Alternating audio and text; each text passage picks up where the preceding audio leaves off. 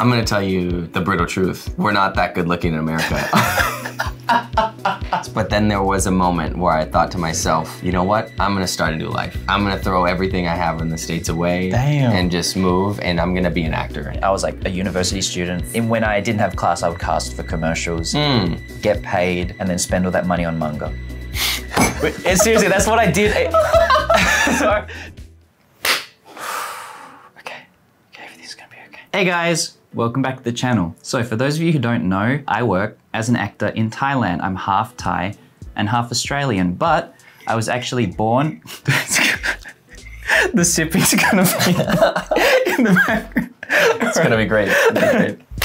Hey guys, welcome back to the channel. So for those of you who don't know, I'm actually an actor working in Thailand. I'm half Australian, half Thai, but I was born in Australia and lived there until I was 20 years old, and I didn't speak a word of Thai before moving here.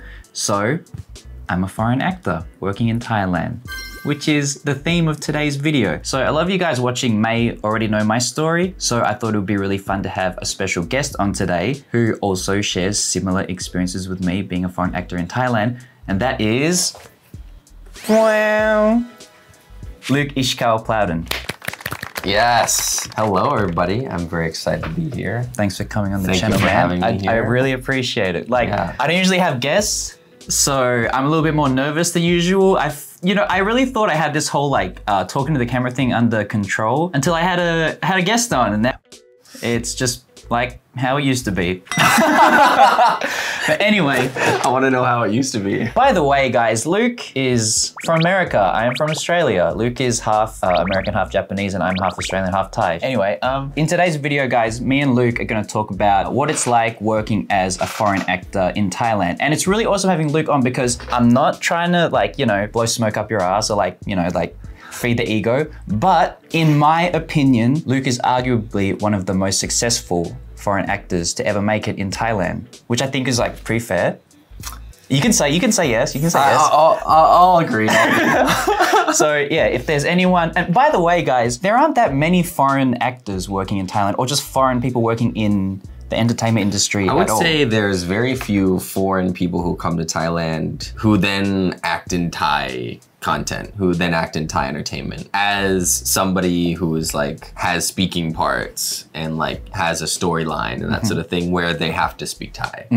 But as far as like in general foreign actors living in Thailand who are casted in various roles as support characters or as just like maybe villains, that sort of thing, uh, I would say there's there's quite a bit. Um, and actually now there are many many Hollywood films that are filmed in Thailand oh, true that. that are filmed like in Thailand using using Thai studios, using Thai staff and Thai production companies. So for foreigners interested in coming to Thailand and living here and you're an actor, it's like and you're connected to the right people, you can still make a living. You can mm-hmm. still mm-hmm. really even make it onto the big screen without having to be in Los Angeles or in New York and those sort of things. So mm-hmm. I actually just learned that really recently. I I'm really honestly excited didn't really know that, but I got a kind of funny story Yeah. like related to that. One time I was playing an extra on a foreign production uh, in Thailand. It was like on Netflix. I can't remember what it was called. It was like the one with like Woody Harrelson, and it's it's actually. The show is in Japan, but they shot some of the action scenes here. So I was supposed to play this like Yakuza guy. Yeah. And I went there for like 6 p.m. and was there until 6 a.m. And when it came time to shoot the scene, they were like, oh, actually, we don't need you. And I was like, Oh my gosh. I was like, that's okay. That's, I was a poor university student as well, so I actually really needed the money to pay for my semester fees that year. So it, like, if I if I didn't go that to that like job, I wouldn't have had enough money to pay for my semester fee. So it worked out fine. But I was also kind of like, could you just let me could you just let me go home like ten hours earlier? But anyway, oh, Yeah. But relating to what you said, like there's a lot of foreign productions, but like getting into like a Thai production, mm, I think mm, is like mm. still fairly difficult if you don't speak fairly good Thai. If you want like a like main recurring Yes. character role, it would be. I would say impossible. If you speak Thai with an accent that's clearly foreign, then that's not gonna that's not gonna fly. Yeah, let's just get started by talking about how we both got into the industry. So I was a master's student in statistics in the United States. I did not do my research, people. I apologize in advance. No, no, no. so I was uh, I was I got my undergraduate degree at the George Washington University in statistics. And at the time, I thought, well, I really like this subject and I know that it's a really stable career path moving forward to do data science and statistics. It still is, by the way, for those of you who are in that field. And so that's what I thought I wanted to do. So out of college, it's it's difficult to get a job right away. So if you then go on to a master's degree, uh, in statistics and then maybe do something else, uh, get some other kind of education or work as an internship as a, as a data analyst somewhere. That's kind of the career path forward. So I was getting my master's degree in statistics and realizing this is maybe not what I, not really what I signed up for. And also I have a, I have an autoimmune disease called ankylosing spondylitis, which is a, a disease that is over time it can fuse my spine together.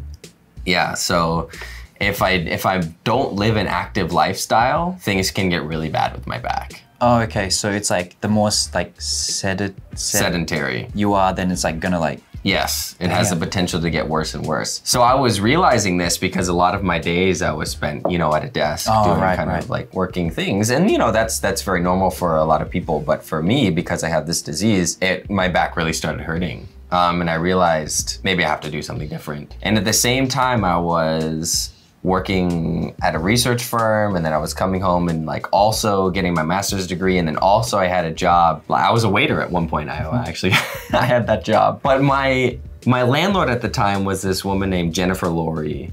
And I thought you were gonna say Jennifer Lawrence. I was like, damn. yeah, no, no, Jennifer, Jennifer Laurie. She's a wonderful, wonderful lady, and she told me you should be a model because you are very handsome. And I was like, that's the first time I've ever heard somebody say that to me so directly. Can I can I butt in for a Yes. second? I feel like in Western countries, mm. even like if guys are handsome or like girls are like good looking, I feel like we don't really say it out loud. But in Asia, it's like a totally different thing. Like if you're like good looking, people well, like in Thailand they'll be like, oh like law. Like people just tell you. Like sometimes people you don't even know, like strangers will be like, oh like you're so good looking. It's like, huh.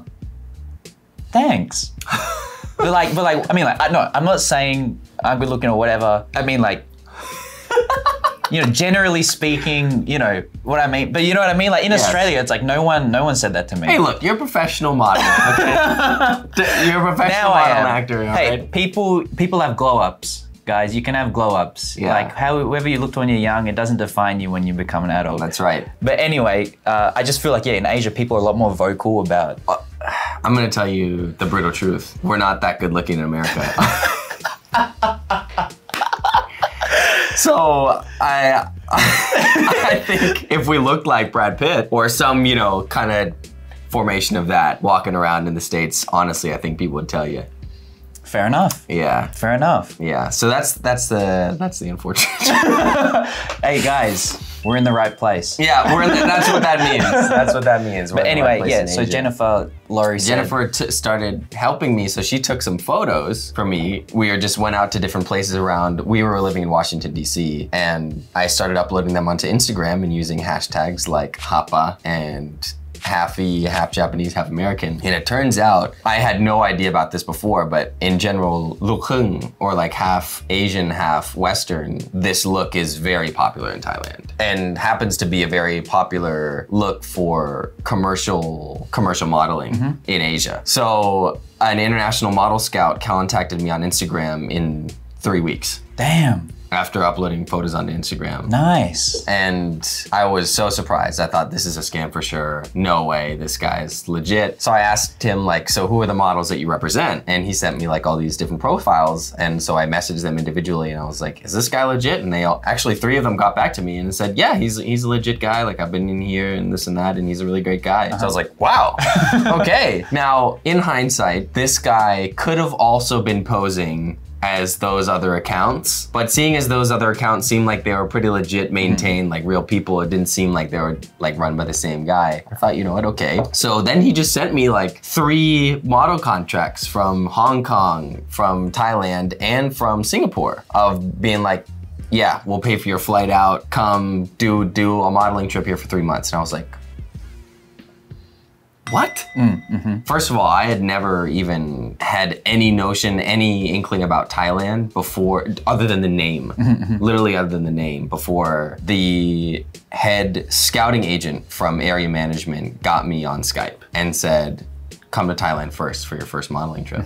At this point in time, I was, uh, am I really gonna do this? But then there was a moment where I thought to myself, you know what? I'm gonna start a new life. I'm gonna throw everything I have in the States away Damn. and just move and I'm gonna be an actor. And I'm gonna dedicate myself to becoming an actor. So like before, so you weren't like, I want to be a model at first. You were like, No, I know I needed to be an actor. damn. because I knew that a model career is very short and not necessarily great money, but an acting career hmm. can be as long as as you're committed to it. So I made that decision and my first plan was to go to Thailand and then to Hong Kong and then to Singapore and then to go back to the States mm-hmm. to do these three month modeling contracts, which I'm sure you're familiar with. And to try and make it in the States, having built this portfolio in Asia and then go to Los Angeles somewhere and figure it out and be an actor there. Oh, okay. So when you said I decided to be an actor, you, you didn't mean specifically in Thailand. You were like, oh, okay, okay, okay. I just knew that I had to do it, and like a modeling, um, building a modeling portfolio before going there is, uh, you know, it's a way to is a way to what I thought was a stepping stone for it. But when I came to Thailand, and then I got like a lot of commercial jobs, and then I ended up kind of getting into the community, uh, going to some parties, this and this and that event. Somebody from Channel Seven said, "If you can learn Thai, you can be an actor here." So I thought, well, I kind of like it here. you know what? It's cheap. yeah. The food's great. The people seem to really like me. you have to remember that in the first week, like literally the second, the third day after I landed in Thailand, I went on Rong Sedu with Jenny Banan. Okay, okay. And after that, from I I was at 700 some followers on Instagram, I went up to 50,000 Damn. after that one show. Dude, that's crazy. Yeah. So I thought, okay, Thailand seems to really like me Mm-hmm, as like a like the face. So I was like, okay, and the money seems to be kind of flowing with modeling and stuff. So I can just do modeling and then you know learn and commit myself 100% to learning Thai and Mm-hmm, getting in it. So I never thought it was a risk. Like my 22 year old self was like, you can do it. Mm-hmm. Like just commit as hard as you can. But even if like you didn't like if you decided at some point to like change your mind, you're still like young enough where like like if you not fail, but you know what I mean? Like at 22, like even if you at 25 you're like maybe this is not for me, you still got like plenty of time to like change like career path or something as well. But Right. Yeah, but I, I never had that in the back of my mind at all. I was just like, that's crazy. 100% commitment, no compromise. nice. So after I heard that, I immediately hired a Thai tutor to teach me Thai. And so I studied for four hours a week for two years. That's the next with that's the- the next question. That's the next question. Okay, So, so, yeah, that's how I got into the industry. Well, actually, not really. So I, just because that, disregard, that's only the first part. That's only the. disregard everything we just said. no, no. Here's the real story. So fast forward past or skip over the Thai learning phase. I was contacted to play a series called Wolf Game Not Her. Mm-hmm. Was it?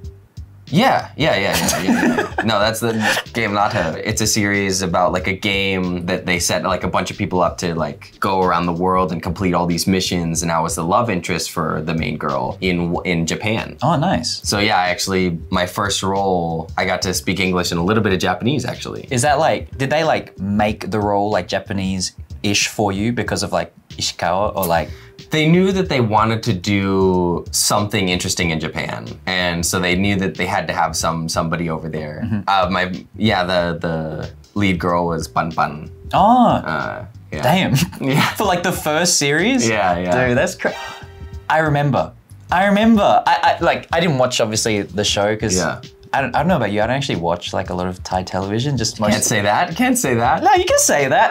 hey, this is this is this is my channel. We can say whatever we want. I don't I, honestly. I don't watch a lot of Thai television. I watch uh, the stuff that I'm in, and I watch some of the stuff my friends are in, Oh, okay, okay, okay, okay. and and that's about. No, I don't watch zero. Oh, okay, but I just okay. don't watch a in lot. in general, okay. I- yeah, I- in general. But I, I remember I remember the scenes like seeing seeing you and Bun Bun. I was like, Really? yeah. Wow. Like, it was like on you know just like on like Discover on like Instagram. Ah, or okay, something. okay. Yeah, so that and that was with GMMTV, and so uh, a little bit after that, there was this show called Nai Khayama Oi, which is about yeah, like and Oh My Boss is the series, and so. At the time, a director, Kun Chai Adam, was really interested in doing this series. At the time, he was casting and looking around on Instagram, and he found my profile, and he was like, this is the guy. So you didn't have to audition for it? No, didn't have to audition for it. Yeah, he just he just handpicked me, and then GMMTV contacted my, Lack, my manager, and said they have a role for you to be the lead guy in this series, but you have to sign with GMMTV uh, if you're gonna do Yeah, it. Yeah, which is like regular. Yeah. so, so I was like, well, that's a no-brainer. like, just, immediately achieve the dream. I mean, like everyone watching probably knows already, but just in case you don't know, GMM is like probably like the biggest talent management and also just general production company in Thailand. So being handpicked to like be in a GMM series and being like, by the way, you, you have to join us. It's like, like Luke said, not even something that you would really think about. Just be like, yes, yes, sir. Yeah. yeah, yeah. Absolutely. So, and yeah, since then I've done 10 ish series. I have my movie coming out at the end of this year with Five Star. It's Five Star Productions. It's called Slith. Uh, but I assume we'll get into yeah, Yeah. promotional stuff later. Yeah, my, my my experience was pretty much the same. So I moved here when I was 20 with my family because they were like, "We're moving to Thailand," and I was like, "I actually um I would like to stay in Australia," and they were like, "Nope, we're moving to Thailand." I was like, "Okay then." So we moved here, and then my mum was like, "Yeah, like you should at least cast because there's like a chance that you could get like you know." Some work, get some money. So my mum found a modeling agency in, uh, based in Thailand, and so I was with them for like the first three, four years, and like yeah, just casting. Red? No, not red. It was. It's it doesn't exist anymore actually. Okay, Yeah, which is like alright. kind of fun. It's not funny. It's not funny, but it's kind of funny. and so yeah, I was casting for commercials and learning Thai because I couldn't mm. speak Thai. So similar to you, I had a private tutor. Yeah. Yeah, and then I did that for a while, and then similar to you, kind of like there was casting for a BL series called My Engineer, which was the one with like Cooper and Boy. And um, there was a half character that they were casting for called Ram, which is the character I ended up getting. He's a half character. He doesn't talk that much. Uh. Yeah, because he's just like really silent. And they reached out to me on Instagram. And so, yeah, I got them to like contact my management and I went for an audition and then got it. And then after that, I don't know, my career like took some interesting turns, but um, yeah, I got to like be in a few other series with different productions. What, and what, what time was my engineer, right? It was on air in 2020. We shot it at the end of 2019. Wow, okay. So like for the first five years while I was at uni, I was like a university student, poor as fuck. And when I didn't have class, I would cast for commercials, get paid, and then spend all that money on manga. Eh, seriously, that's what I did eh, very early on because like I I just moved here. Sorry. No, seriously, I This just is legit money, by the way. Because he's getting, he's get for a commercial, you'll get like what, 40,000, No, 50,000, no, maybe dude. 100,000 sometimes. No, dude, I wasn't No? getting paid that much. I wasn't getting paid that much. What? No, like sometime if no, for me, a big one was fifty thousand. Like that was for me. Like I was like, oh, I'm making bank on this one, and that was before uh, my manager's cut. Oh, Yeah. So anyway, as this is why it's important to have different people on to share their experiences, because as you can see, we don't all have the same experience. no, dude, a lot of mine, especially early on, were like twenty thousand to twenty five thousand for commercials. for TV commercials. What the? Dude, I think the difference is mine was based in Thailand, whereas yours is like an international one. So maybe they can like get more money, or maybe my agency was taking more money. Who knows? Who really knows? I will never be able to get the answer to that. And also, it's in the past, and we don't we don't dwell on the past too much because we can't change it. But anyway, Your agency was. um, yeah. So I was getting like, so for example, yeah, if it was like twenty five thousand baht, which is roughly like a thousand dollars, I guess, then you take the manager's cut, and then I'd be left with you know whatever. Let's just say six, okay, still, this is like 20,000 baht. A good amount of money. That's like a rent. That's Guys, like an, not in one blow. I wasn't spending it like I wasn't Okay, like okay. I wasn't like I wasn't getting paid walking into the bookstore and walking out with like bags. but I did spend a lot of it on manga Okay, okay, okay. early on. Yeah, yeah. But like also, now this is, you know, not to like try and like backtrack, but I had just moved to Thailand, didn't have any friends, I was like very isolated, and I was just like, mm-hmm. dude, when I first moved, before I was a university student, I would spend a lot of time at home and I would just binge watch. Like I binge watched every season of The Office, How I Met Your Mother, started watching Game of Thrones. Like I would just, I would, I had my computer like sideways on the ground in my bedroom and I would just lay on the ground. Like I would learn Thai in the morning and then the rest of the day I would just be like lying on my side, just like watching US TV. Oh no. Yeah, so I'm glad you made it out. Of, I'm glad you made it out of those times. yeah, so um, But I get it. You know, you were 20 years old and coming into a completely new country. You didn't want to be here. well, that's the thing. It's like because I'm half Thai, Yeah. people will assume that like, oh, so you could already speak. It's like I literally couldn't speak it. Like Luke doesn't have Thai blood. I do, but that doesn't mean like I'm better or like have.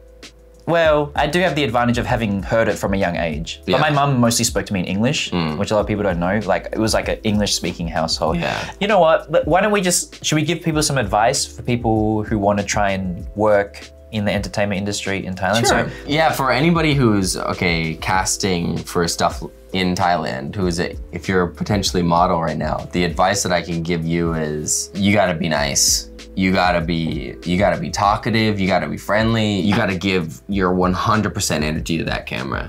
Um, because in Thailand, like the vibe, the vibe for getting the role is very, it's overacting. Um, Oh yeah, for commercials, yeah. commercial, it's completely overacting. Uh, like a like a happy emotion is like a like a Dude, when you drink something, when you drink something delicious, you're like, don't do that, don't do that.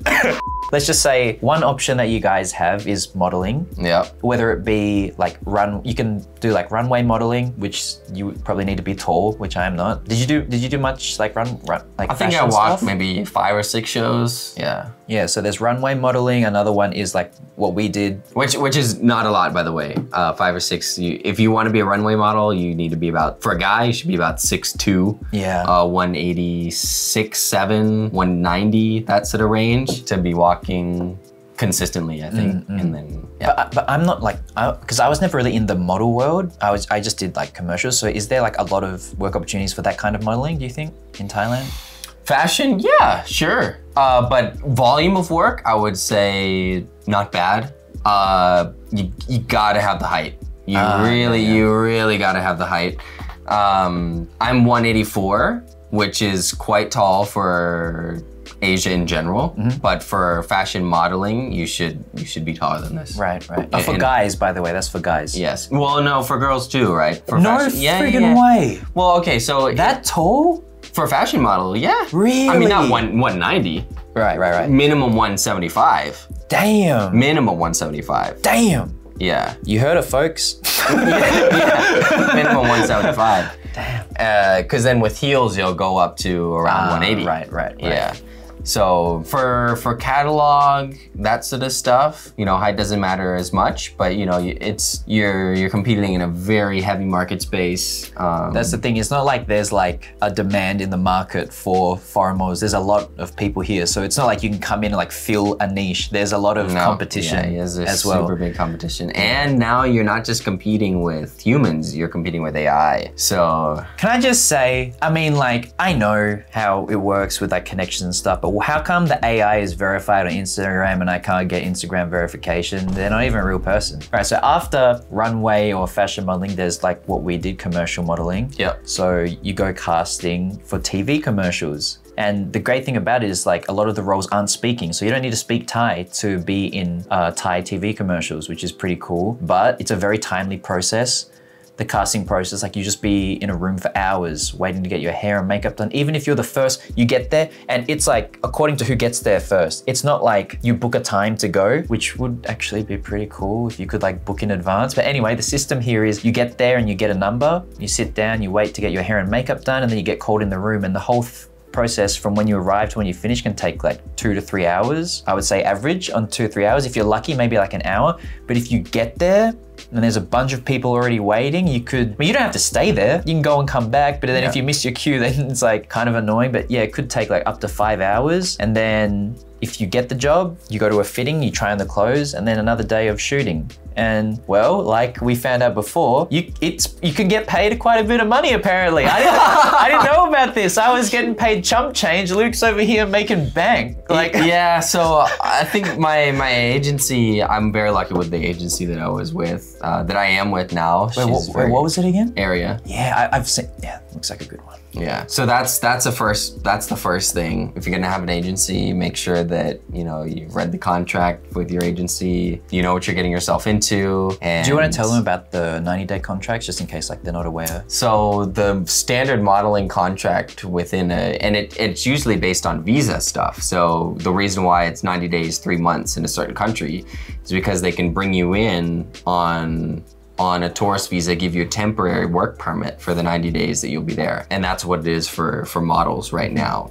Uh, they don't want to give longer longer work permits to, to models. And Um, is it, I don't know if my understanding is correct or not. So they will cover your expenses, like your accommodation and living expenses. But if you get jobs, then you have to pay them back.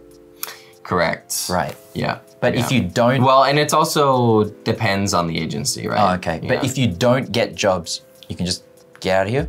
no, no, no. Then you owe, then you owe the money. No way. Yeah, then you're then you owe the money. Yeah. Yeah, I never did that because I moved here with my family. So Right.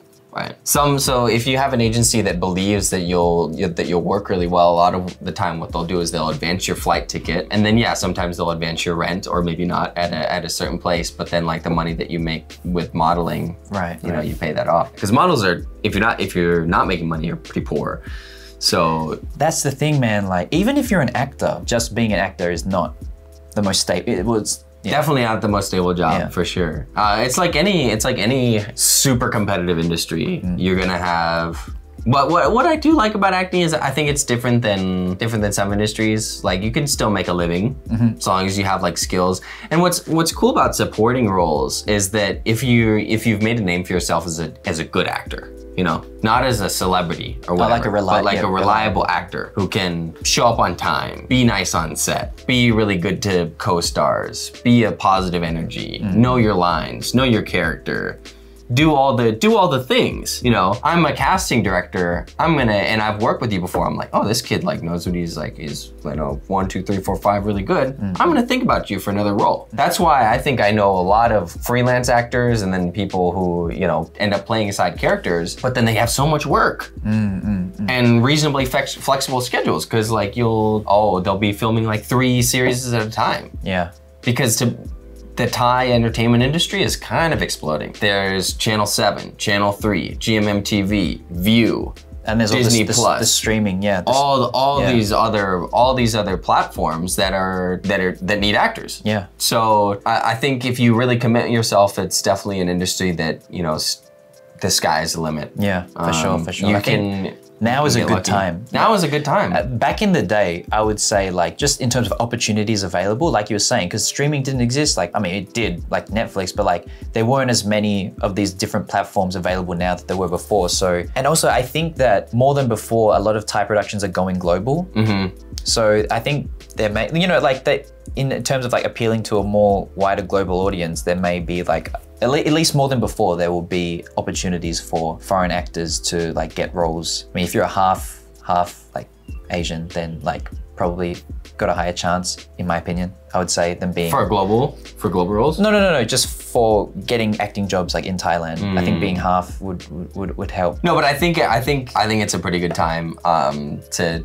to be in the industry. Obviously, like anything, it's going to require like if you're like me and you're you're like 20 years old um, and you're you're a model. If you were like me and you want to come to Thailand and then try and start a career, you know, definitely possible, definitely possible. But it's going to require the same level of dedication that it took us to to to get there. Acceptance of the culture, acceptance of that you're gonna have to study Thai, especially if you have no experience studying at all.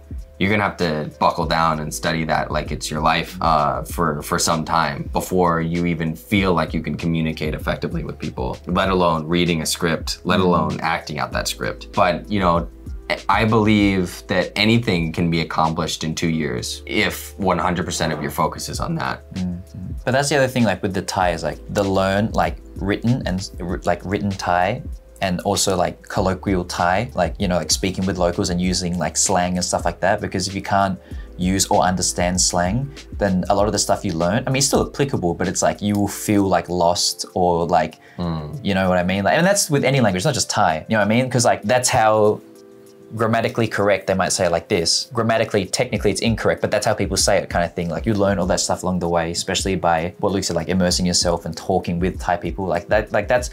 I sometimes, people, sometimes when I'm on stream, people ask me like, "Do you have any tips for learning Thai?" My number one tip is like, you need to talk to Thai people. Yeah. Yeah, like just like native Thai people is like the best way to. If you want to get better at speaking, you need to speak it with Thai people. If you want to get better listening, you need to listen to Thai people. Yeah. Yeah. So we'll just talk about like how how we learned Thai. Okay, so you yeah. mentioned before that like you started, and also myself, we started with private tutors. Yeah, and then I think after that it's about talking to people. And what I what I found is the most helpful and I talk to so many Thai people who are like, "How do I learn English? How do I learn English?" It's because you're too afraid of making mistakes. That's the number one thing. You're too afraid of opening your mouth to use it, knowing that you might be wrong. Mm-hmm, mm-hmm. And I knew this from the from the start is that if you want to learn a language, you have to use it. You have to speak it. You have to be willing to make a fool of yourself in front of people.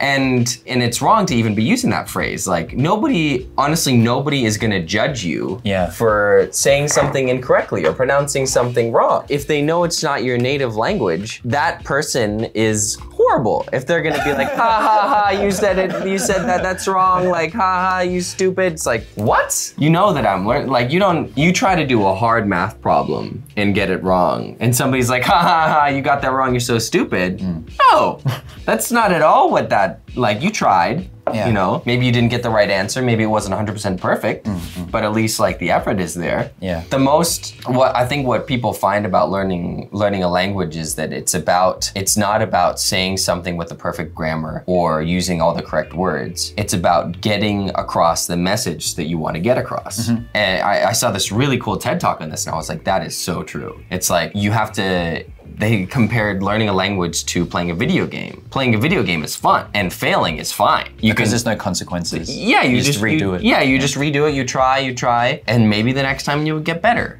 And maybe the next time we get your point across a little more clearly. You know, that's the way that you need to learn a language. Mm. I think like one of the cooler things is like when you're learning a language is like realizing that you can say the same thing in a lot of different ways. I think one thing that people get caught up is like you have a sentence in your head or something like for, for example, I don't know, I can't even think of it, but you have something in your head and you can't translate that directly into the language that you want to say it in so you get stuck.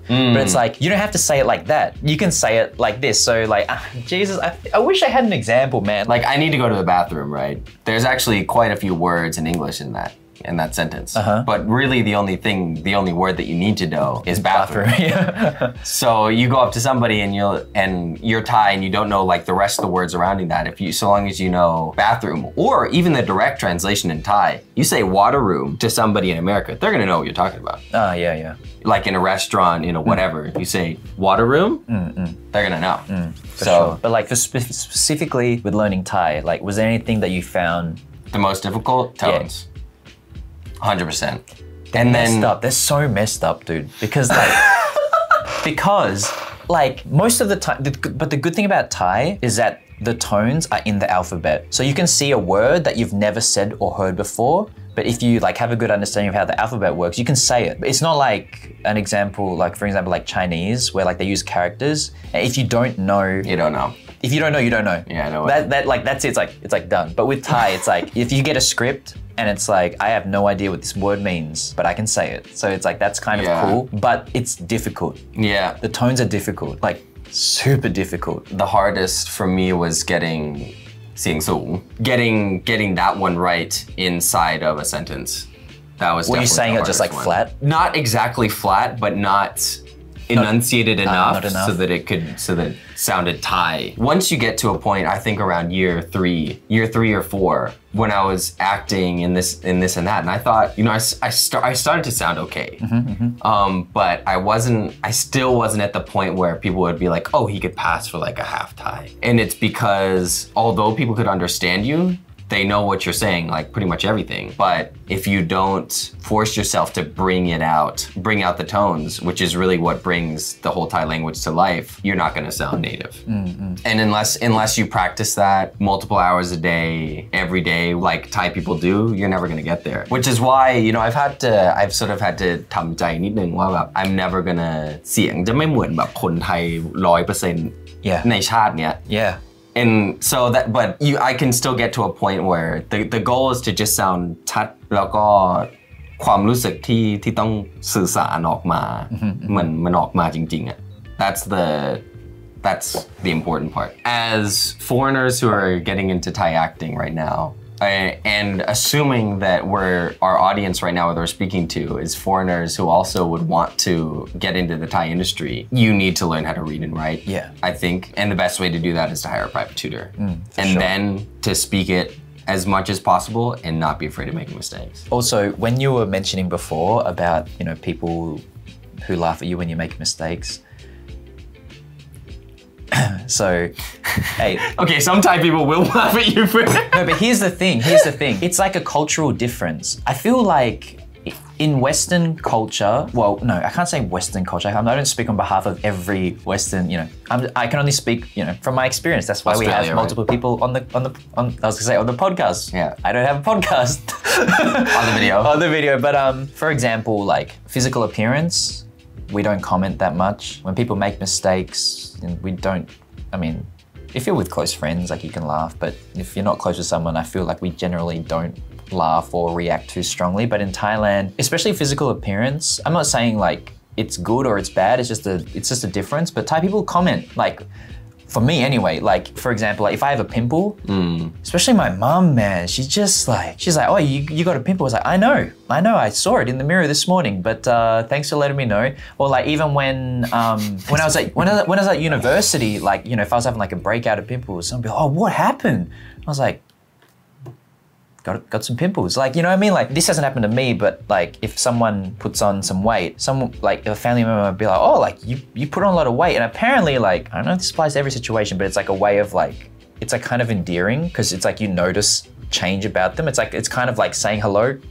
Apparently, you know what I mean? Like yeah yeah yeah it's, So- it's interesting it's very so interesting yeah, so they've they they've in western in western culture this is a big no-no it's very taboo, especially Yeah, now. Definitely cannot comment on somebody's appearance, particularly negative. Yeah, and also it, look, it doesn't have to be you know in that way. If someone is you know gets very slim, they'll be like, oh, you like they'll comment on it. People will comment on like changes, and so that was a big shock to me. That was like one of the big culture shocks for me when I first moved here was how much mm. people commented and I sometimes I would take those to heart but it wasn't I wasn't like hurt but I was like you need to say that like and then it would make me a little bit self-conscious but how this relates to what we were saying before is if you make a mistake sometimes Thai people might laugh at you but they're not really being mean mm, I mm. feel like. Because, you know, like sometimes it is funny. Like I've had people say things to me in English, and if they say like, if someone's trying really hard, you're not gonna laugh at them, be like, haha, you suck. It's not like, haha, you suck. But if you say something funny, like Yeah. a funny mistake, and people laugh, like it's you got to be strong. Like, Right. you, like, like you saying before, like you can't be afraid of making mistakes. And if someone like laughs at you or something, you got to bounce back. Yeah, Because yeah. they're not like trying to make you feel bad, and they probably don't realize that it might be hurting your feelings. Yeah. So yeah, you just. Did you have that? Did you have like people like laugh or like anything like that?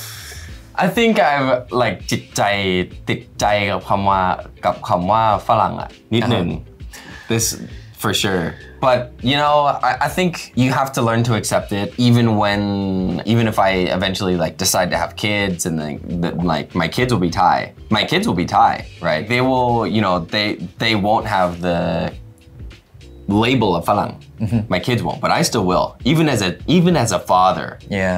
of of Thai children in Thailand. Mm-hmm. Just for you guys at home, like the word falang, it's like a word that Thai people use that means pretty much anyone outside of Thailand. It's more generally used for Caucasian looking people. yes. yes. If you are like Caucasian from a, foreigners. if you are like from a nation like Africa or something like that, I mean technically you are still Farang, but in general terms it's used for Ca- Caucasian Yeah, foreigners. Yeah. yeah.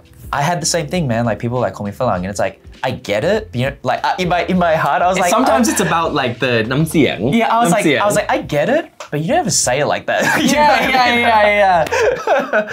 but but like, it's not, it's not racist. I feel like. it's not racist, but it's just like a label. It's not said in a derogatory way, but it's just. Sometimes it is. it- yeah, yeah. Sometimes, Sometimes sometimes, it is. it, and like, if especially if they don't know that you understand Thai, then like, yeah, they might say something a little bit nasty. Right. But I feel like it's the kind of like you are not us that makes me feel mm-hmm. like a little bit like, especially because I'm half. Even though I didn't. Yeah, that's crazy. Because I didn't grow up here though, so I don't have the cultural connection. Mm. But oh, dude, so this was something I want to ask you about. Okay, so growing up in America as half Asian, Yeah. was like your like cohort, like the people in your class, like predominantly Caucasian. Yes. So growing up as a kid, did they like call you like Asian or anything like that? I think that I only had a few people kind of poke at that. But not not bullying. I just mean like in general, like people like that were aware that like of your mix, like being being mixed. Yeah, yeah, yeah. I, I think I, I'm definitely lucky that, about the town that I grew up in. Again, is a university town, mm-hmm. so there's at least more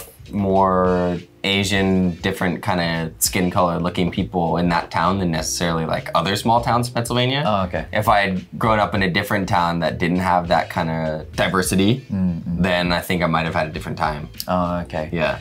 Because, like, yeah, for me growing up, as a kid, I looked more Asian than I did now. You know, jet black hair. I had, like, more, especially smiling, like, I got, like, the Asian eyes and stuff like that. So my friends, not in a bullying kind of way, but they would, like, call me, like, Asian growing up. I was, like, the Asian guy. Yeah. No, um, amongst full Asian people, though, by the way. Oh. Uh, no, but like no one thought I was 100% Asian. But you know what I mean? Like there was that kind of like not separation because like everyone like got along. And Australia is very multicultural. Like I remember like growing up in a class with like kids from like Sri Lanka, Vietnam, China, whatever. But the funny thing was coming to Thailand and people thinking that I'm 100% white, mm. and I was like. I was like- Really? Y- yeah. No, and that's the thing to us. Yeah, I think like- because we're half, we can see it. But then like coming here and people thinking like I'm 100% white and getting the Farang label, and I was like, I thought, I thought I was one of you guys. Like, no, I didn't think I was like 100% Asian, but I was like, I thought that I would kind of like, Be more accepted. like I just thought like I wouldn't be like have that kind of like separation. Mm. You know what I mean? There's someone be like, he's white. It's like, oh, actually, I'm half. They're like, oh, okay. No, but some people know I'm half. Like Yeah. from looking at me, but um, especially lately. Lately, I don't know if it's because I don't know. Maybe I grew up a bit, and my the shape of my face changed a little. Or maybe the way I dress. I guess the way you dress also kind of like plays a role into it. But um, Definitely the way you do your hair. yeah, I mean like caps and stuff, like caps like Uh. sunnies and like. But yeah, so that was actually one of my other questions. Was like, do a lot of Thai people think you're 100% white?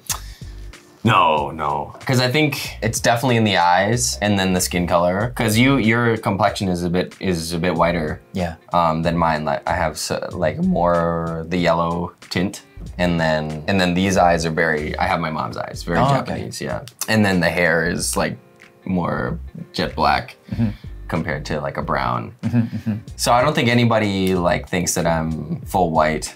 Yeah, but they they know that I'm definitely not definitely not native Thai. Thai, yeah. Some people think I'm half Thai now, but once that's only once they once I speak Thai to them Mm-hmm. that they think oh uh, yeah half or something. Okay, so you and I have been working in this, especially in the acting scene. I would say like four, four, four years, five years now. Yeah, Do people still ask you if you can read Thai? yeah, Like, it's so weird that Yeah. even people that I've messaged with, I've messaged with them online and like in Thai. And then like for some reason, like something happened, like we're doing a job and they'll be handing out like, I don't know, a piece of paper with all the instructions or whatever. And, and then as they're handing them out, they'll get to me and they'll be like, oh wait, can you read Thai? It's like, dude, we've been we've been like communicating in Thai in written format for like ages. What the so anyway, I wanted to know if there was anyone else going through the same thing that I was going through. yeah, yeah. I think I think that is a bit surprising as well. Uh, but, you know, I give them benefit of the doubt. It's like, it's never, for, for me, it's never been with people who I've, that, that seems really weird to me. where, the, where the, you're like, pim, pim, tai, kapao. Yeah, it's really random. It's really random. Like, I guess, like, I mean, this is not people that are like my inner inner circle, but these are people. These are like not not friends. These are like yeah. staff staff members that I have right. worked with and things like that. No, I think uh, this this definitely happens, but it's it's about I give them the benefit of the doubt because they're just like, oh, they probably don't know, they've never worked with me before. Mm. They, all they know is that oh, he's been Falanga. Ah, okay. Yeah, yeah. I mean, it's not bullying or anything. It's just like it's actually out of concern because if right because they're just asking like if I, if I said no, I can't read, then they'll give me English copy. You know what I mean? Right. right. It's just like a double check, but it's still kind of like you know I read scripts for a living, right? Right, yeah. but yeah, anyway, I do get that occasionally, and it's kind of, no, but like I don't make a big deal of it. I'm, I just say yeah, like, and it's over. I don't. I'm not like excuse me. Like they're like, can you speak? I'm like, yeah, I can, and then that's it. Like it's not a big deal, but it's just kind of funny. Like it's I'm like. that kind of stuff happens like every Yeah. now and then. So this was actually um, uh, from from a fan, and I thought it was really interesting. Do you think that if you were acting in English, which is our native language, do Yeah. you think that you could be more like expressive, or do you think the acting process would be easier for you if you were in your native language? Yes. Uh, unfortunately, so. Uh, it's just, it kind of goes back to what we were talking about. Even though I've been here for five years, even though I've like ตั้งใจตั้งใจเรียนตั้งใจพูดตั้งใจทำโปรเจกต์นู่นนี่นี่นู่นนี่นั่นแบบคุยคุยไปเรื่อยอ่านนู่นนี่นั่น still not going to be the same as 18 years of English fluency, you know?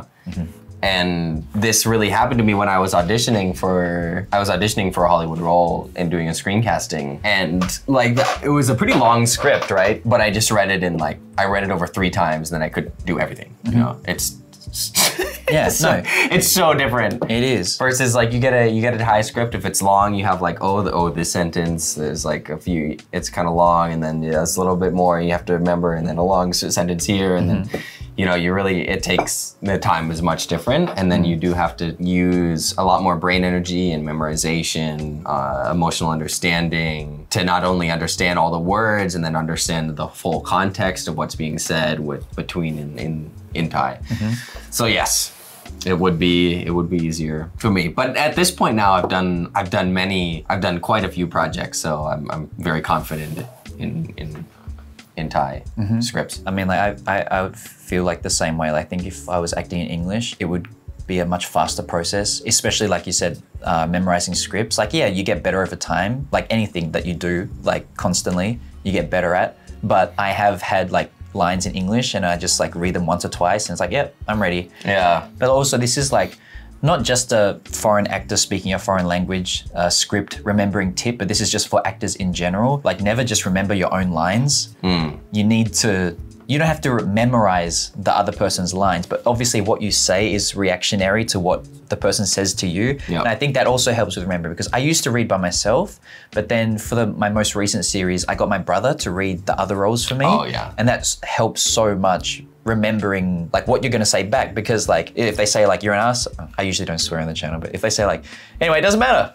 I can do whatever I want because it's my channel. If they say like you're an asshole, and then you say like what? Uh, that was like the worst example ever. all right, all right, all you're an asshole. What? no, no, but like, no, let's just say, okay, what's that? Like, if someone says like, "Why did you come home late today?" Then like, obviously, like, you, you know, whatever, you, whatever reason you're gonna say, like, you know that what you have to say, like, is the reason for that. So it helps to remember like that way. So and also, like, when you're acting, if you only remember your own lines, like, it's gonna be, in my opinion, not a great acting process because that kind of means that like you've already decided how you're gonna deliver everything. Mm-hmm. Whereas, like, you don't know how they're going to say it to you. So, how can you know how you're going to say it back, kind of thing? You know what I mean? Mm-hmm. Mm-hmm. Anyway, so I think, yeah, that's also another thing that's really helped out is like having someone to read with, even if it's not the person playing that role. Right, right. Yeah, so Yeah, I agree. Completely. shout out to my brother. Thanks, man. I appreciate it. Appreciate all the 11 year help. old, right? Uh, 12? we're, el- we're 11 years apart, so he's actually 17. I'm, tw- I'm 29, so he's turning 18 this year. You moved here when you were 20. Yeah, Okay, so nine years ago. Okay, yeah, yeah. It's a long time, man. Yeah. Been, been here for a while. yeah. Probably too long. No, no, no. That's mean. It's not funny. It's mean and not funny. It's not funny. It's a joke, guys. It's- It's, yeah, a joke. Been here for a while.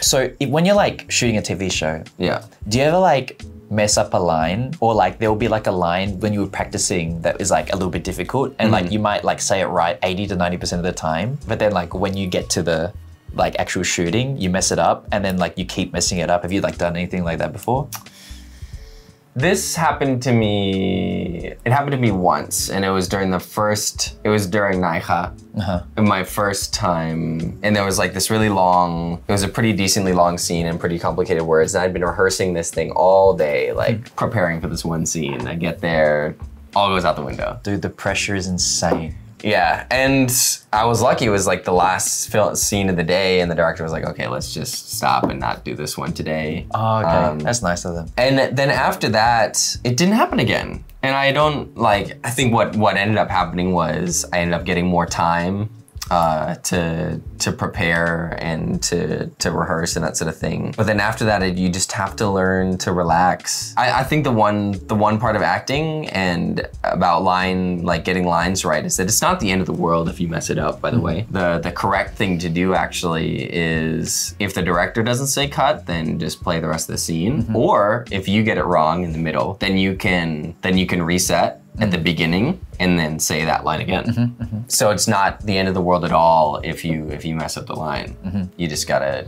you just gotta move on. Uh, and yeah, that's that's freaking hard. Yeah. For beginner actors, that sort of thing. Uh, they feel like, yeah, Yeah. everybody's looking at me. There's a Yeah. camera, the director, like, oh, the man goes first thing I'm again. Like, no, no, no, no, that's not. We've all been there, okay? Like every single actor who's been on set has been there. you Yeah. know? Even actors that I work with today, like they'll mess up a line like once a day or something like that, you know. And it's all that happens is they're just like, okay, let me say it again. Mm-hmm. Yeah. What's important is once you say it again, if you say it wrong, to then reset your brain to then make sure that you're still getting the same emotions across. Sometimes, I don't know if this has happened to you before, but like I'll have memorized a script in Thai, and then like on the day, the director will be like, Can you say this line in English? And then it really throws me off because like I feel like, hmm. first of all, for some reason, my English just fails me. And I'm like, How do you, how do you, how would I say this like, Oh yeah, yeah. like natively? Like, not, I can translate it, the Yeah. meaning, but it's like, how would a native person say this line? And also because I prepared for it in Thai. Mm. And so just like I was saying before with like the, the like the sequential broken continuity. yeah. it's like the multiverse, like another like way of saying the line. But like yeah, like sometimes I'll be like, oh, can you say this line in English? I'll be like, it really like it really like throws me. I'm like, especially one time I had to say some like bad words mm. in Thai, mm. but it was unscripted. But they were just like, just say whatever you want. Just say like just like da, just like do what it. Like you can say anything. Then suddenly the acting coach on set was like, actually, can you say it in English? Now the thing is, I swear in my private life quite a lot, but just with people I'm very close to, I don't. Especially like you know, if I'm on streaming or I'm on, if I'm on stream or I'm on YouTube, I tend to keep things pretty like PG. Yeah. And I was just like so just like stunned because I was like, I, you want me to say what? Luckily, luckily the acting teacher like they were fluent in English, so they were like, just say Just for me, do you remember what it was? uh, yeah, it was it was yeah. Uh, uh, you can bleep. You can bleep it. no, no, yeah, no, it's fine. No, um, well, the first line was like, it was like, I know, blah, blah, blah, blah, blah. And I couldn't, I was like, idiot. like, it was so bad. And then, and then like, no, no, it wasn't like that cringe. Okay, okay, It wasn't that cringe. I was like, oh my God, you freaking idiot. Like, it wasn't like that. But Okay, like, okay. the acting coach was like, wouldn't you say like, like, are you fucking dumb or something like that? Yeah. And so that was why I went with. I was like, "Are you fucking dumb, bro?" Like kind of thing. I said it in a really strong Australian accent, which was also like kind of funny. Like it wasn't a meme, but like a lot of people like cut that out and was like it was like a mood, like for a lot of people. Okay. Like I feel like. Just from our conversation, I feel like you're very. I'm positive, but I feel like you're even more positive than I am, and like a lot more like, man, I'm just doing like, like, like just a lot more chill. Yeah, because I've I think the the more that the more you learn to accept uh, and appreciate different parts of the culture, the more you feel like you can be a part of it. Um, and then this ends up having a lot of other interesting advantages. Yeah. Like what? Well, people take you more seriously. Oh, okay. uh, people people respect you more. Um, you end up giving more opportunities. It's just the more that you conform, the better Ah. things become. Yeah, nah, dude. I think I was like, it took me a while to like really immerse myself, especially earlier on. the the respecting people who are and I, I still struggle with this i think definitely is like respecting people who are just like a year older than you to the degree of Yeah. to the degree of oh but like Yeah. you know and you're just like what 29 or something 28 Do- but but the thing is what I, I i i feel weird about it but then i'll meet somebody who's like 26 Mm-hmm. and they'll treat me like Yeah. but Yeah, yeah. like Yeah, you know, yeah. and then I'm like, "Ah, Dude, I, like- I know what you're saying. So just for you guys at home in Thailand, if you if there's someone older than you, you have like the prefix P, and if you if they're younger than you, you call them Nong, or like you don't even have to say Nong, but you just call them like by their name. Yeah. So. Do you have the same experience? So obviously, when we started out, we were younger. Now we've been mm. in the industry for a little while. Like when you start out, you call everyone P, just because in general most people are older than you. Yeah, yeah. And now, have you started this thing where like you work with people and you ask them like, "Oh, how old are you?" And they'll be like, "I'm like 20." I'm like 21. You're like, "Shit!" Like you feel like like people start calling you P, or like you will call someone P, but they're actually like the same age or younger than you, mm. just because like it, you kind of like got used to calling everyone P because they were older, but now Yeah. you're the old one. Yeah. Shit catches up fast. Yeah, I, I think it's. This is why, okay, a side note again. When you're in the business world, age is actually your advantage. People take you more seriously. Uh, the longer that you've been doing a certain business, the longer, the, the more credibility people give you. And this is also true in the acting world. But in the acting world, getting older typically means like, depending on how you look, can mean less opportunities. So there's this gap in between where it's like if you're no longer look young enough to be like the lead guy, but you're not old enough to be like the dad, or something, yes, yes. uh, then you might struggle for a while. But in business, in business, getting older is actually is better. Yeah. So I, for anybody out there who's like an actor, who's you also have to you got to do something else too. You Yeah. got to figure out. You got to have another source of income. I think like that's one. Uh, having like done a little bit of work in Japan, I've found that one of the big differences between the Thai and Japanese entertainment industry is in Japanese you can be like whatever age and still like debut at any time, and there's like still chances for you to like have your big break. Whereas in Thailand, I feel like it's not impossible, of course, but starting out young, and by young, you know, relative term, but if you start in your early to mid twenties, you got a better chance of. Well, you probably have more opportunities as up and coming or lead actor because I feel like a lot of the main roles are not written for that kind of like limbo between young man and dad. That, Yeah, that, yeah. that like 30, early 30s is like a, a tough, tough. It, it depends how you look too. Mm-hmm. If you look young, then it doesn't really matter. But. Yeah, yeah. yeah. So I think people that want to pursue a career in Thailand, that's something to like keep in mind as well. Is like not your age, but how how old or young you look can have a big impact on your opportunities. so exercise regularly. Uh, Skincare, guys. Eat your vegetables. guys. Do your skincare routine. Sunscreen, Sunscreen. so important. Get enough sleep. Yeah. Did you when you started off, were you like not really like into like self care, Yeah. Yeah, yeah. dude? Because Mistake, by the way. Yeah. Oh, yeah. Oh, dude. If I could go back in time and slip slap, oh, we, in Australia we have a saying called slip slop slap. It means you wear a hat, you wear sunscreen, and you wear long sleeve. I can't remember it, but anyway, it's it's a guide for summer Okay. to stay cover up and not get yourself burnt. Um, yeah, I never wore sunscreen growing up. Yeah. Uh, I hated it. I was like, this feels disgusting. I hate this. And Yeah. Australia has like very strong sun, Yep. very strong UV, and uh, yeah, it did do wonders for my skin. Yeah. Yeah, but moving to Thailand and especially being in this industry, yeah, skincare and self care is like super duper important. I was like, you know, I was kind of like one, not a, not a, like a bro at the beginning. But I was kind of like, guys don't need to do that stuff. Mm. Yes, we do.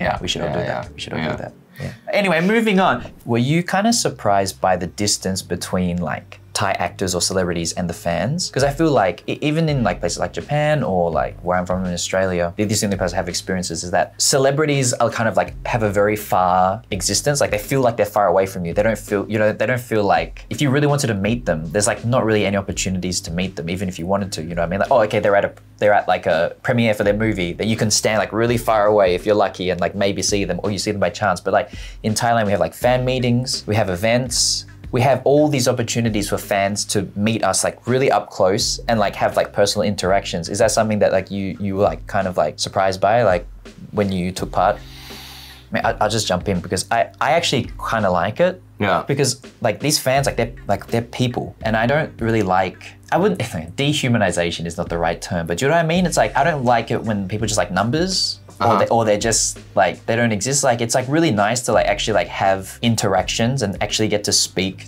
to people as opposed to I don't know what it's like, but you know, if you were like I don't know Justin Bieber and everyone's like screaming your name, it's like it just to me it feels like it all just becomes one as opposed to separate personal like entities.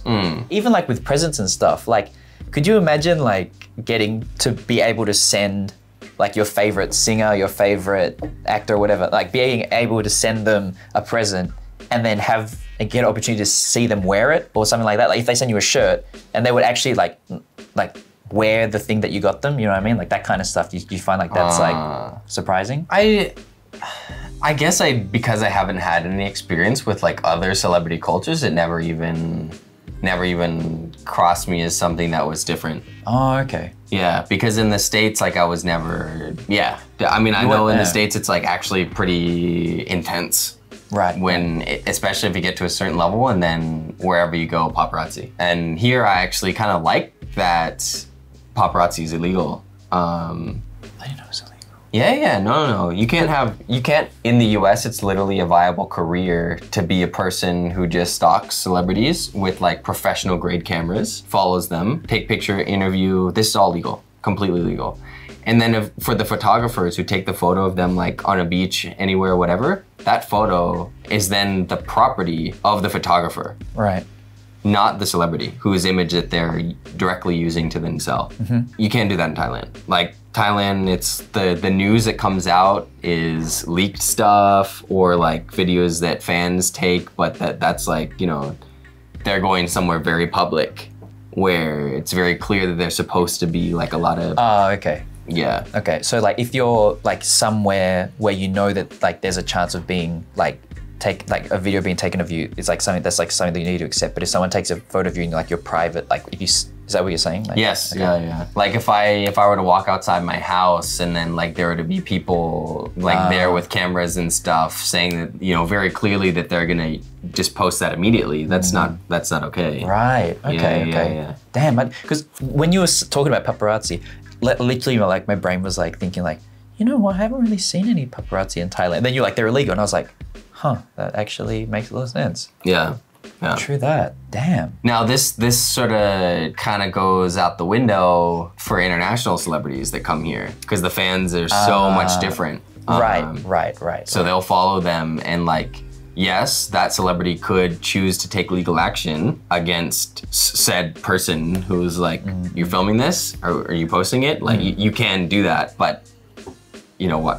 Why would you? Mm-hmm. Uh, yeah. Right. Right. Hey, thank you so much for making it this far into the video. There's actually an extended cut of my video with Luke, which has around 18 minutes of extra footage. It has some extra stories, such as the first time Luke and I met, which, in my opinion, pretty good story. The extended cut is available on my Patreon. I left a link for it down in the description below, so if you're interested, please go and check it out. Now back to the video.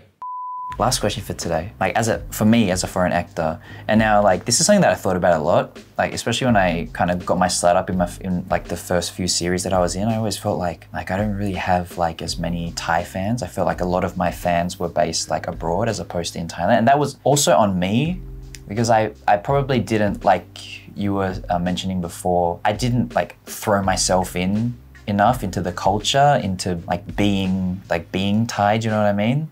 And that and I feel like maybe that made it harder for fans to connect with me a little bit because they felt like that there was like that the foreign there was like a like a like a like a like a glass barrier between us that was like you know if they they feel like and even that but it does happen like they'll feel like oh if they say this then I won't understand like they they they, they feel like the disconnect whether it be like culturally or whatever. And that was like probably on me but also you know because I can speak English and also Japanese I feel like yeah, like I have quite a large like international fan base or Japanese fan base, but I wanted to know what it's like for you. Do you feel like compared to maybe native Thai people, do you feel like that your fan base is like more spread out as opposed to like being like centered like in Thailand? I think uh, yeah, there's some there's some good spread. Definitely definitely the majority is Thai. You can easily look at that with the Instagram data. Um, But you mean majority, you mean like more than 50% or you're saying like 30?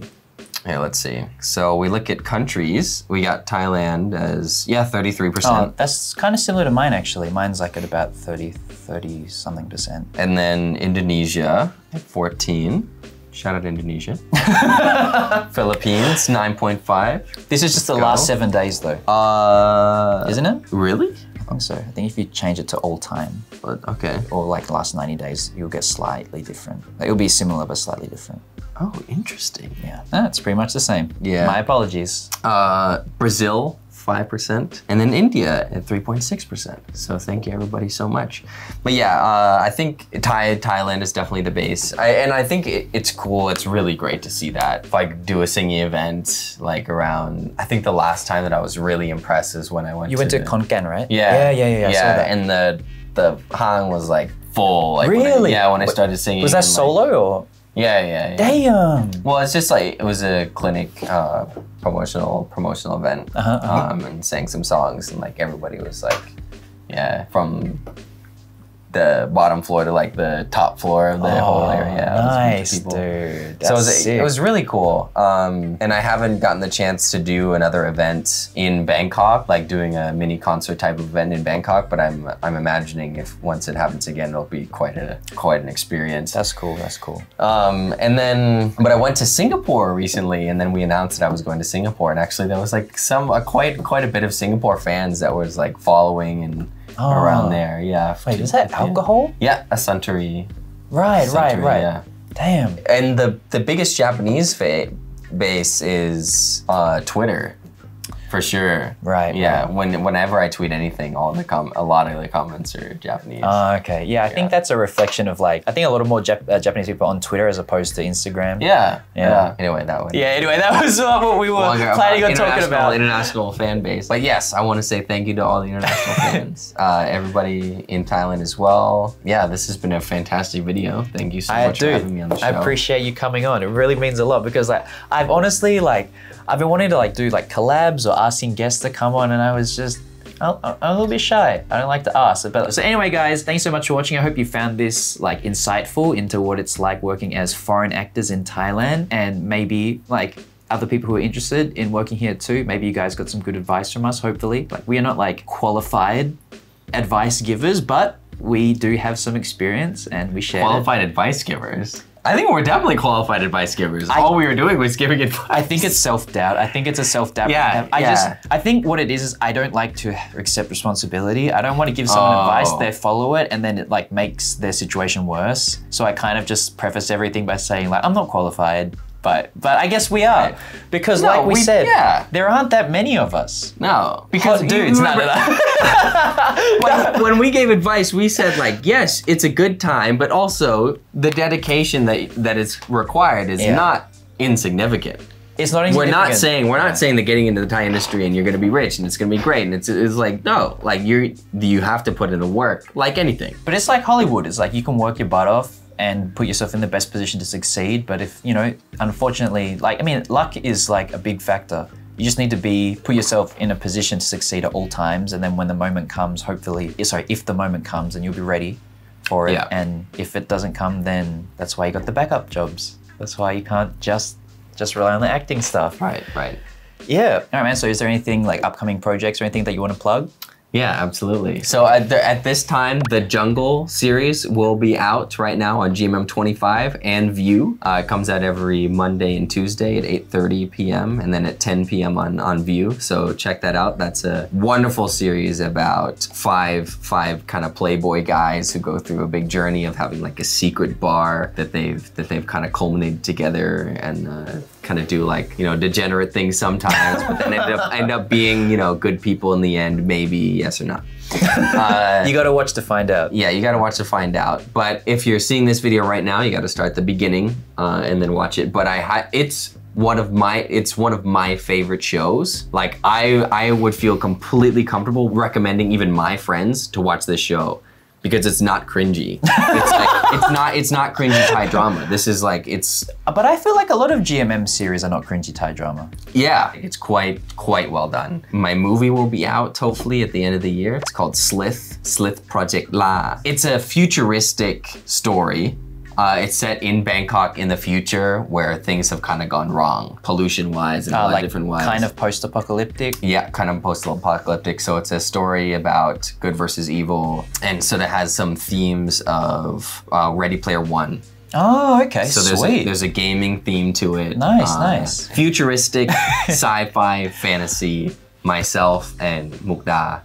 And just for the record, not there aren't a lot of sci-fi type productions. Nope. So yeah, the the I think the CGI is going to be really great because and there's quite a bit of CGI, quite a bit of you know otherworldly stuff because it's a sci-fi fantasy film. And they've been working. We finished filming early this year, and now the post-production series has been going on much longer than the at the actual Oh, filming right, because of the CGI. because of the CGI. Okay, so the longer that it's in post production, the better the film is going to be. Nice. So I'm very happy about that. We're not rushing any kind of release date or anything like that. Mm-hmm. Um, yeah. So and I'm right now I'm in the middle of filming Faceless Love. It's a it's a kind of an office drama, but the the kind of cool plot point is that the main guy is, do Du Du Jisoo. Yeah, he he can't see people's faces, so he can't read people's expressions. Oh, okay. Yeah. Is this like an original story? Uh, no, we bought the we bought the rights. Oh, okay. Uh, I think from a Japanese drama. Oh, okay. And cool. so I play his kind of mentor, older brother type figure throughout Oh, the nice. story. Um, but yeah, you'll have to see from there because I'm not I'm not I'm not the main guy, but I am extremely important. Basically, without me, there is no story. Dude, I'm gonna use that line sometime. By the way, guys, like I'm not the main guy, but I'm really important. yeah, That's just my motto for life. yeah, yeah. Guys, yeah, I hope you enjoyed today's video and yeah, catch another video coming very, very soon. See ya.